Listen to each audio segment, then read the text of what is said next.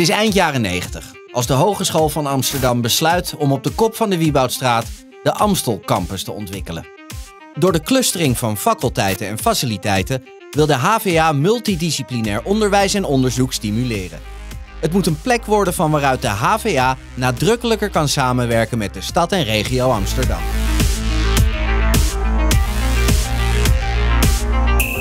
De Wieboudstraat, lang de lelijkste straat van Amsterdam genoemd, is meerdere keren ingrijpend veranderd. Ooit lag op wat nu het Rijnspoorplein is, het Weesperpoortstation met tram- en treinverbindingen richting Utrecht en het Gooi. In 1939 werd het Amstelstation aan de andere kant van de Wieboudstraat geopend en het Weesperpoortstation gesloopt. Het plan van de gemeente om van de Wieboudstraat een stadstraat met bijzonder grote afmetingen te maken, moet de kast in als de Tweede Wereldoorlog uitbreekt. Ook de naoorlogse plannen rond 1950 om van de Wieboudstraat een groene straat te maken, redden het niet. De plannen worden aangepast aan de wensen van de moderne tijd. De straat moet een belangrijke verkeersader worden, een grootstedelijke boulevard. Amsterdam moet met zijn tijd mee en heeft metropolitaanse allure nodig. Deze aanpak heeft het gewenste resultaat en bedrijven vestigen zich aan de Wieboudstraat. In de binnenstad gevestigde kranten zoals de Volkskrant, het Parool en later ook Trouw en het Financieel Dagblad vinden er een nieuwe plek. En bij de entree krijgen organisaties zoals de Belastingdienst en de Sociale Verzekeringsbank ook een plek. Deze publieke organisaties verlaten in de jaren 90 en 2000 wegens ruimtegebrek de Wieboudstraat en laten hun gebouwen leeg achter. De HVA ziet de kans schoon om hier de Amstel Campus te ontwikkelen.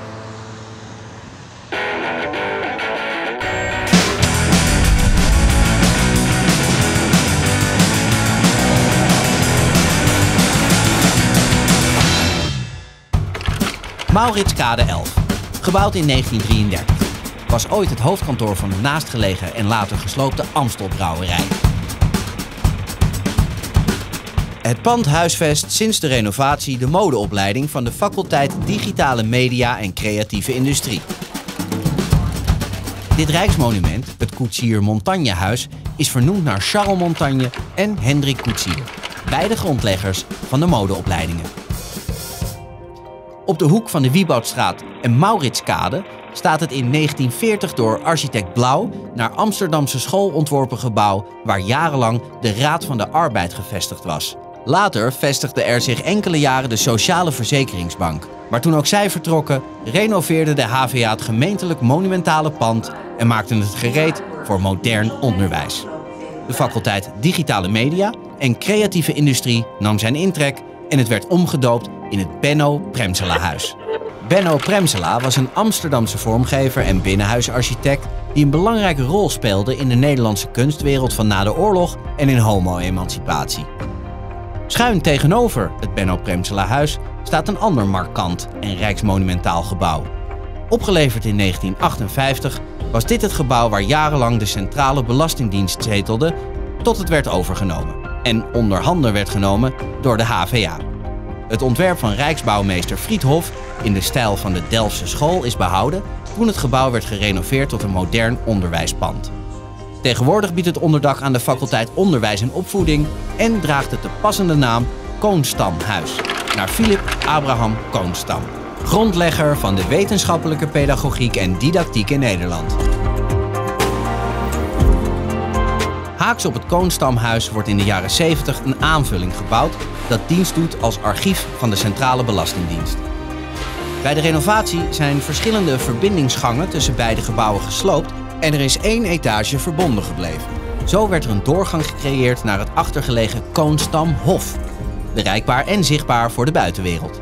Het voormalig archiefgebouw wordt Theo Thijssenhuis gedoopt, naar de Amsterdamse schrijver, onderwijzer en socialistische politicus Theodorus Johannes Thijssen.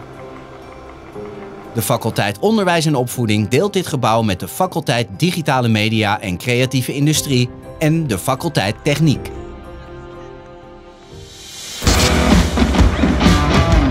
Het oude Wieboudhuis uit 1968, waarover veel Amsterdammers een scherpe mening hadden en waarin jarenlang gemeentelijke diensten gevestigd waren, was door haar ontwerp niet aan te passen naar de eisen voor hedendaags onderwijs en onderzoek.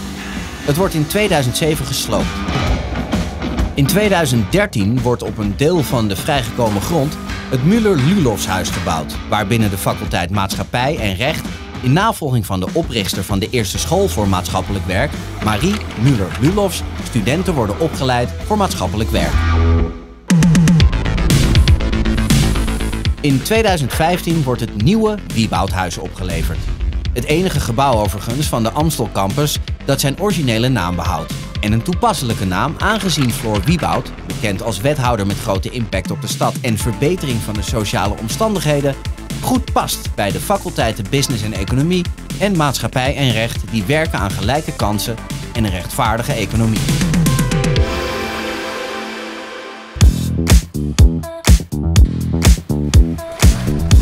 De Amstel Campus nadert zijn afronding.